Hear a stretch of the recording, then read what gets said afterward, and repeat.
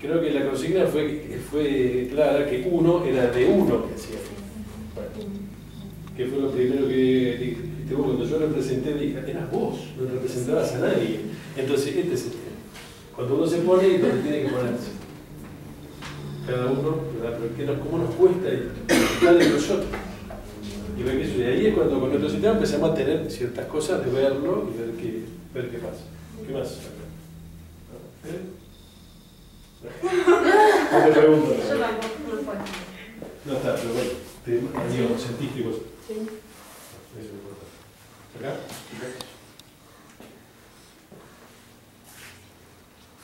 Yo una sensación de angustia terrible.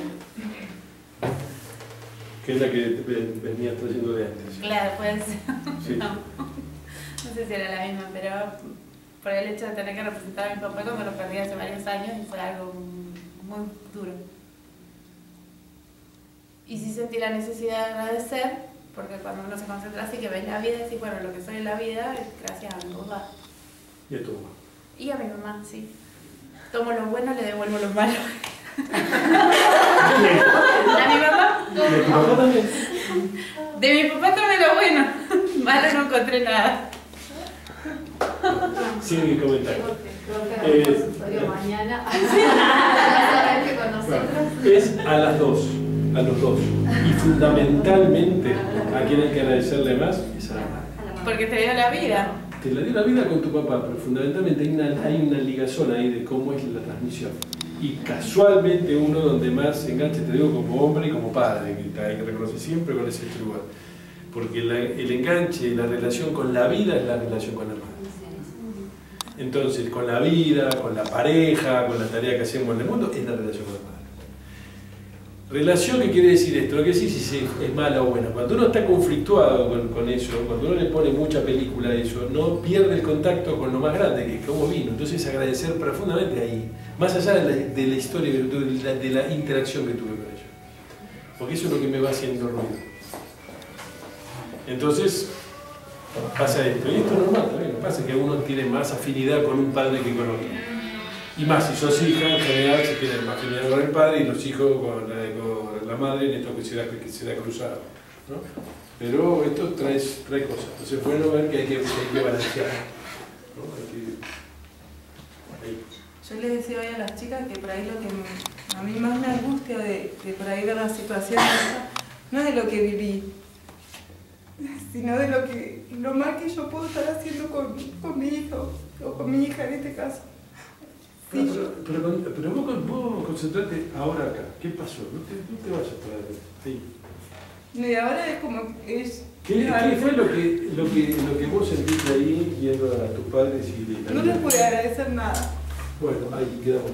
Y ese es tu momento actual. Y eso es lo que tenemos que dar. No estás ni mal ni bien, estás enojada. Entonces, bueno, ahí hay algo. Punto. Basta. Y bueno, y es bueno que uno tome y sepa lo que pasa para después hablar. Si uno no, si no toma contacto con, eh, con, eso, no podemos nunca saber cómo es que se arranca. Entonces se arranca de acá. De acá, es más, hay que ver. Y si vos estás preocupada por tu hijo, lo mejor que puedes hacer es ver cómo te desenojas con tus padres. En tanto, no es que estoy enojada, no. No, no, no, no estamos. No es que no hablo ni nada con ella, no, no. Sentí que no podía decirle gracias porque no lo sentí. Bueno, por eso. Y eso es estar enojado. Porque el asunto es esto. Eh, a ver, demos la vuelta que es eso. Uno puede ser políticamente correcto con alguien, y esto es la diferencia entre lo que uno habla, lo que dice y lo que siente. Estamos disociados totalmente, en general todos. Entonces, el tema es que uno empieza a hacer algo coherente o algo, o algo, o algo central, empezar a reconocerse lo que no se reconoce. Uno no sabe lo que le pasa al cuerpo, no entiende, no cifra sensaciones, no registra. En general, cuesta mucho, hasta uno tiene que empezar a hacer eso, ¿no? que tendríamos que haber aprendido de mucho antes. Pero bueno. Entonces, el tema cómo es.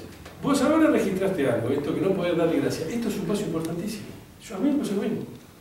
Hace muchos años atrás, y al final seguí trabajando y me pasó, y a veces me pasa que, o sea, no es algo, es excelente, aunque sea duro, poder reconocer que no lo puedo dar. Y ahí empezamos a ver dónde está parado uno.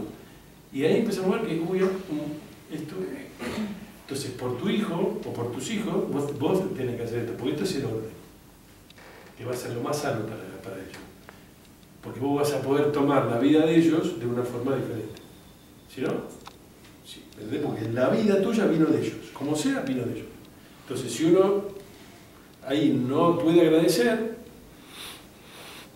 ¿qué pasa? Es que uno no está tomando bien. Entonces uno anda, anda con fuerza, ¿eh? con un montón de cosas, pero no está montando. Entonces, esto, tomalo. Y aparte, ojo, no se queden con esto que esto está mal, que sucede. No, no, al contrario, esto es bueno darse cuenta.